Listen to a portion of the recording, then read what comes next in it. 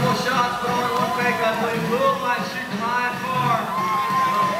One two maybe in. Two seconds remaining.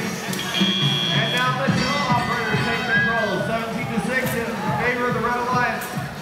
Once again, Red Alliance Digital Supremacy, Hawaiian Kids, and Robonauts up against the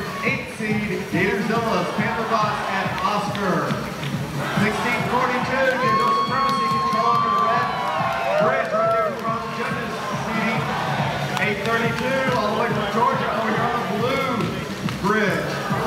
Gatorzilla trying to get some balls over there and get in scoring position as Robonaut shoots them outside. Three, now six points added. Live time scoring giving a 20 point advantage to the Red Alliance with 80 seconds remaining. Half.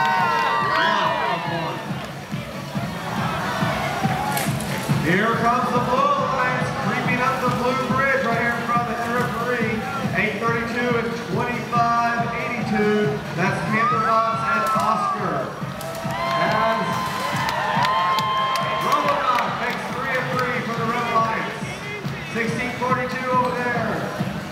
Digital Supremacy trying to balance on that red bridge right in front of the judges seating. And now 2582 getting pushed up by 2936 Gatorzilla's with 40.